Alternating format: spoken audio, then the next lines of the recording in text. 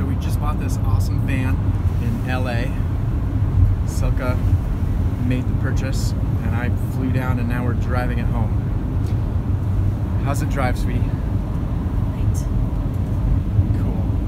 We're headed up Highway 101. We're gonna hit the Avenue of the Giants in about a half hour. Check out the redwoods. We bought an air mattress